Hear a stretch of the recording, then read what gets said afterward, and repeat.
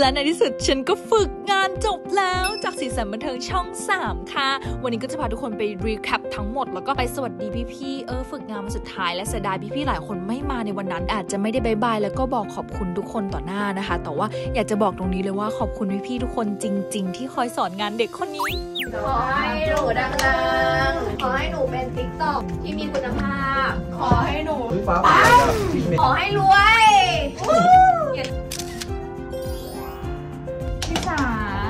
ดังปังๆในสิ่งที่สำคัญที่สุดเจอเจ้านายที่ดีเจอสังคมที่ดีเจอเพื่อนร่วมงานที่ดี ได้ทำในสิ่งที่อยากทำไม่โดนเอารัดเอาเปรียบและมีความสุขในการทำงานขอบคุณค่ะขอให้ TikTok มีโฆษณานี่เยอะๆสาธุเยี่ยมขอบคุณมากค่ะขอบคุณมากค่ะที่หนึ่งด้วยโอ้ขอบคุณค่ะ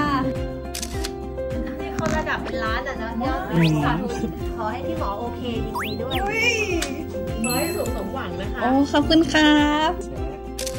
เป็นความสุขมันมีความสุขในงานดีๆขอบคุณค่ะอย่าลืมสิ่งที่ได้จากนี้การฝึกงานทำให้เราได้มาเรียนรู้ว่าอาชีพนี้เป็นยังไงกลับไปคิดตอนนี้ได้ทดลองออกมาทำงานจริงแล้วเนี่ยสังคมมันไม่เหมือนการเรียนแล้วนะมันไม่มีใครปกป้องเรานะนี่เป็นคุณครูแนะแนวบอกเขาจะนึกว่าอยู่คลองโดน